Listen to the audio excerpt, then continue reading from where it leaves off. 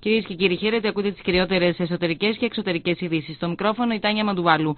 Οι τελευταίες πινελιές φαίνεται να μπαίνουν στο κάδρο της κυβέρνησης συνεργασίας μεταξύ Νέας Δημοκρατίας Πασόκ και Δημοκρατικής Αριστεράς, καθώς όπως όλα δείχνουν, τα βασικά σημεία έχουν συμφωνηθεί και μένουν κάποιες μικρές εκκρεμότητες που θα οριστικοποιηθούν σήμερα. Αυτή την ώρα ο Ντόνι Σαμαράς συναντάται με τον Φώτη Κουβέλη και στη μία και μισή θα συναντηθεί με τον Ευάγγελο Βενιζέλο. Νέα συνεδρίαση της Τριμερούς Επιτροπής για τις λεπτομέρειες της προγραμματικής συμφωνίας. Εφόσον όλα εξελιχθούν ομαλά, ο Ντόνι Σαμαράς θα επικοινωνήσει με τον πρόεδρο της Δημοκρατίας για να τον ενημερώσει για τις εξελίξεις. Εάν η Τρόικα καταλήξει στο συμπέρασμα ότι το ελληνικό πρόγραμμα έχει εκτροχιαστεί, η Ελλάδα πρέπει να το επαναφέρει στο σωστό δρόμο, δήλωσε σήμερα ο διοικητής της Γερμανικής Κεντρικής Τράπεζας Jens Weitmann. Απορροφήσιμη θα ήταν η κλειδονισμή στον ευρωπαϊκό ασφαλιστικό κλάδο σε περίπτωση μιας συντεταγμένης εξόδου της Ελλάδας από το ευρώ, σύμφωνα με τον Νίκο Φίτ. Εξωτερικές ειδήσεις.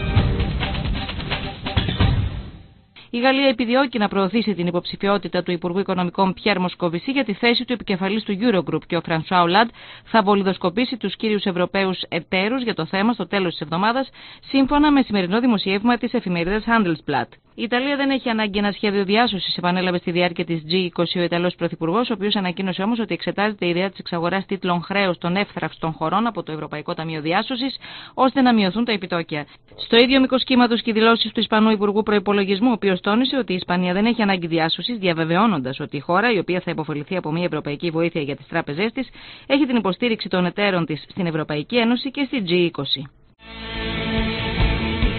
Αθλητική επικαιρότητα.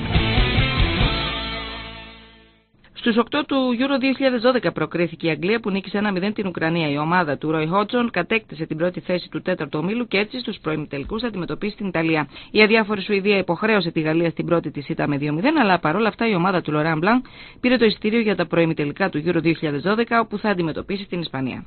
Ο καιρός.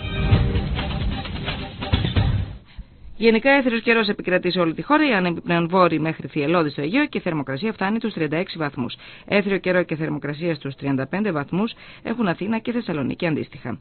Κυρίες και κύριοι, επόμενη ενημέρωσή σας σε μία ώρα.